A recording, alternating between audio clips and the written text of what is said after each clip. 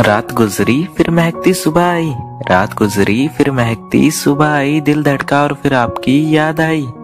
आँखों ने महसूस किया उस हवा को, जो तुम्हें छू कर हमारे पास आई। रिश्तों में मिठास रखने के लिए सिर्फ़ एक ही शर्त है, दिल का इस्तेमाल करें, दिमाग का नहीं। मुझे यह नहीं पता कि मैं एक बेहतरीन दोस्त हूँ या नहीं। लेकिन ये मुझे ज़रूर पता है कि जो मेरा दोस्त है, वह सबसे बेहतरीन है। हज़ारों अपने हैं, लेकिन याद तो सिर्फ़ आपकी आती है।